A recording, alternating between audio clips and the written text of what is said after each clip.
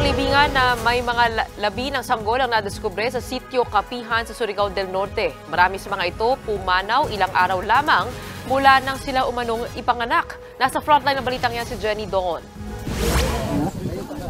Sa iligal na sementeryong ito sa sitio Kapihan, Surigao del Norte, natagpuan ang labi ng ilang sanggol. Ayon kay Randolph, na dating miyembro ng SBSI, 2021 na mamatay ang kanyang 2-day-old na anak dahil pinigilan sila ni Senior Aguila na dalhin ito sa ospital. Inilibing niya noon ang anak sa isang puntod pero inilipat daw ito nang hindi niya alam. Kasi sabi daw ng asawa ko na wala ka bang tiwala kay Senyor Aguila. Andi, ah, siya ang Panginoon natin. Yung mga batang walang may sakit, bawal talaga ipagamot sa baba. Tinanggi naman ito ng SBSI. Kinuha ng NBI ang bangkay para isailalim sa post-mortem examination.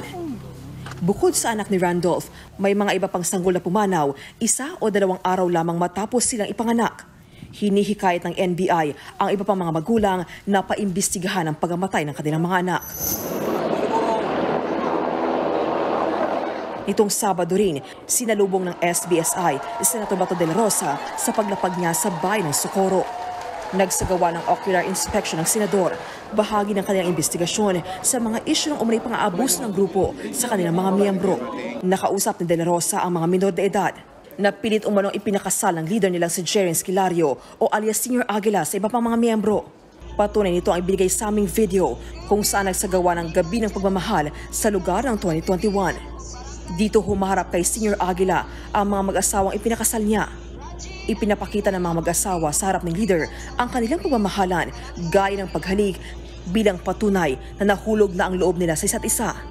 Kinumpirma ito ni Senator Bato sa iba miyembro. Importante, huwag kayo magsinungaling sa amin. Ha? So, magsabi kayo ng totoo. Ang mga anak ba ninyo na mga minor de edad, pwede mag-asawa? Hindi.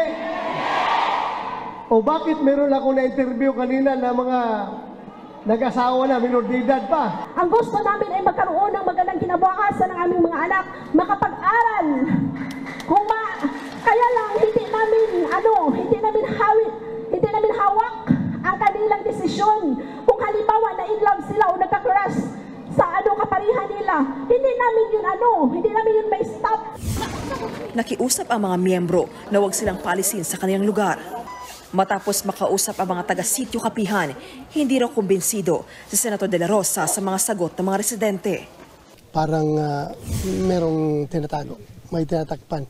Dahil nga ah, parang uniform yung kanilang sagot eh. Hindi upat tinanong, may ready answer na sila. Magsasagawa muli ng committee hearing sa Senado bago magsumiti ng report tungkol sa issue ng SBSI. Nakadepende rin sa desisyon ng mga senador ang kapalaran ng mga leader ng SBSI kasama si Senior Aguila na nakakulong ngayon sa Senado.